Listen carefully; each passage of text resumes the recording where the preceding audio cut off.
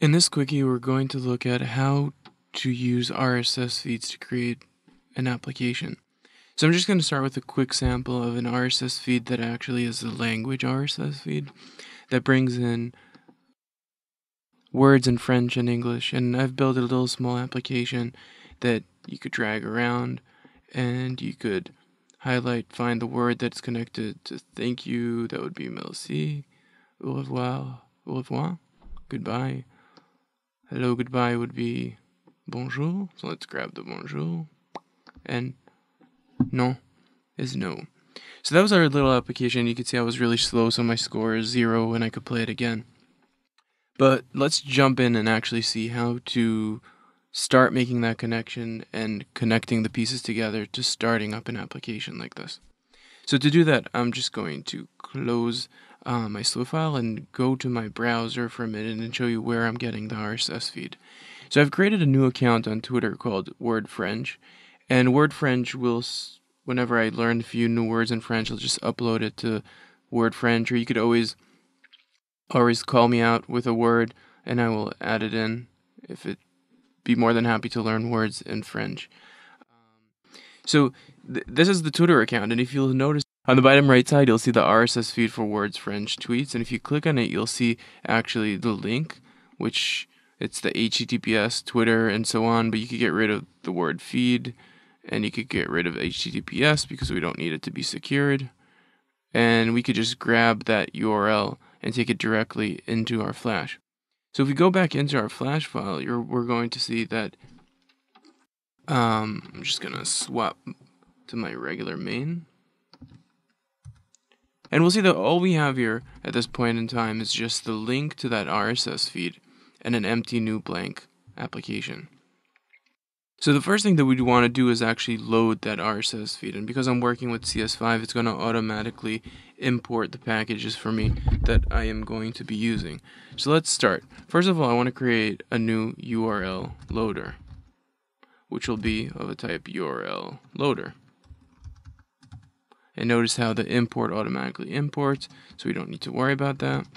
And we want to create a new URL loader and a new URL request and send to the URL request our RSS feed.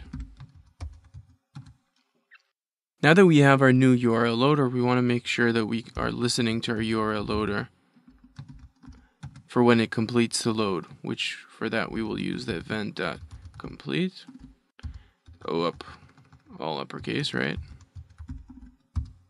On RSS load. Well, let's just keep with the terminology there, so we'll just call it on RSS complete. And let's create our little function. Notice how I didn't import yet my event because I'm working with CS5. And I know that in a moment when I continue typing, I will see when I load in my event, it will automatically add in the event. So I did not need to import anything. So let's see what happened so far. So if I just, first of all, before we before we even do anything, the first thing that we always want to do is we want to get rid of the event that we just listened to. But unfortunately, we didn't really we didn't really set a variable, a global variable, because we knew we were only going to use this once. And to get rid of this event, I could just call directly the target and then remove event listener. I don't need to save that variable. I could just directly approach it um, through the event because the event dispatcher sends me the target. And then I could just send the same parameters that I've set to my add event listener here and done. We've just removed our event, making sure that we don't have a memory leak. And now if we go to our target again and check our data, and just run our app one more time, we're going to see that we're already getting in our RSS feed. Now, the next item that we want to do is we want to break this RSS feed down and kind of see what we actually want out of it. So if I'll just copy this out and I'll just throw it into a new file, I'm just going to create a new class, just random name, just delete all that and just paste it in there so we could look at the RSS feed itself. So we'll see first we have our channel information that has our title, our links, and so on. And then we have items. Item, item, item, and so on. So basically we know if we're going to use our E4X, we could do now, let's see, first of all. So first, before we do anything, we want to create a new XML file, right? Private var XML, which is a type of XML.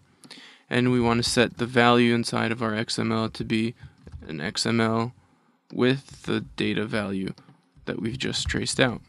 So now we know we have an XML, and now we could start interacting with it. So first of all, we know we want to go into our channel, and we could see that up there. So channel, and we want to go, right now we don't care about all this, we want to go into our item. And if we check this out, we're going to see, first of all, we're going to get an XML list, and it's going to give us all the different items in our application. I know it's a list because we could even, if we wanted to, just check our length. And we'll see that we have five items so far in our channel. So we got down to our item, and we want to store that so we could loop through that element. So I'm just going to create an XML list. And I'm just going to set the value that we had in our trace.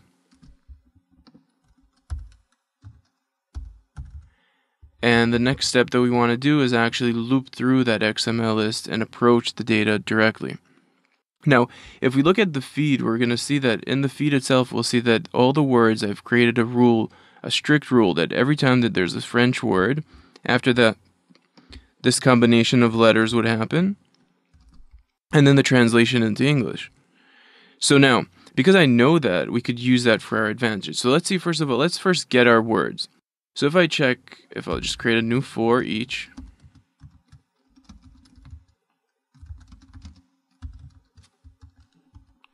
and let's see what would we put inside of our trace now. So now we want to approach our item directly, right? And let's look at our item. Our item packet has a title, and that's where we want to go into. So let's type their dot title. Ooh, a little error here. Oh, we have a little bit too many or not enough. Let's see. First of all, and we see that we're missing one. So let's close that bracket. And here we go. So we have all of our words so far. And now we have a little problem. We, we want to get rid of this intro piece. And we want to get rid of this element. We want to break this down into two separate elements. So to do that, we have a few options. One, we could grab our word French from our channel itself, because in the channel, we'll see that in the title channel, we have our name right here. Like that, making sure that if we change a channel we change a language, we won't have to change anything but that URL. So let's do that. First, let's grab, let's create a new variable here, and we'll call it um, username, which is a string. And we're going to get the username from our xml.channel dot title, right? We're in our channel dot title, and then we want to get rid of all of that. So I'm just going to copy that. And the way I'm going to do that, I'm going to split that string that is going to return, and then I'm going to join that string, basically creating just that username.